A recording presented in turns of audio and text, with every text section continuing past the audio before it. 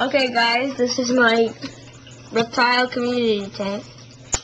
I have two green tree frogs, one green greenel, and one longtail.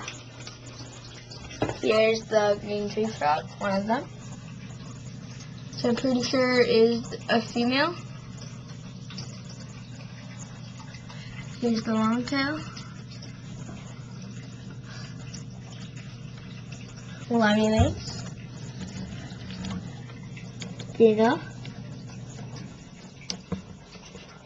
And the green tree frog is like right there. You probably can see him.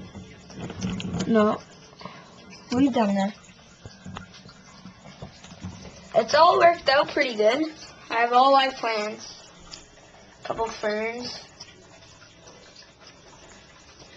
It's worked out pretty good. I haven't got one fight. Uh, there used to be a, there's all this sealing crap over here.